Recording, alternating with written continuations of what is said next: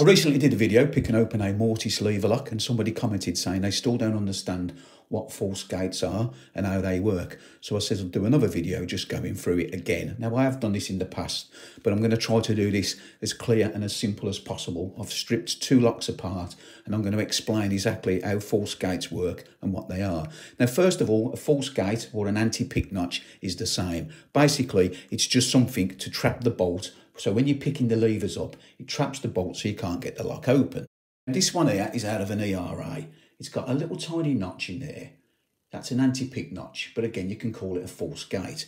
Now, this is the bolt out of that lock. So when you're picking the levers up, obviously the aim is to get the bolt to go through the true gate. So when you pick all the five levers up, the bolt slides through all the five levers and it gets you the open. They can slip into anti-pick notches or false gates.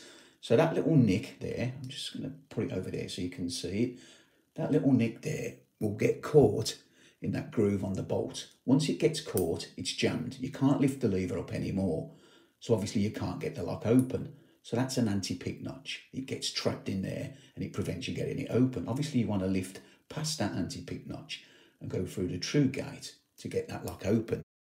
Now this one is out of a merchant's hardware and it's exactly the same principle.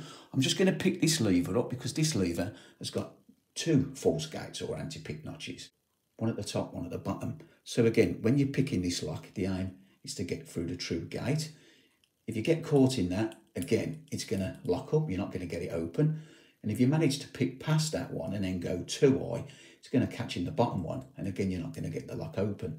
So these are anti-pick notches or false gates in lever locks. Hopefully that's cleared it up. That's it for now. As always, thanks for watching and I'll see you again next time. Try a bit.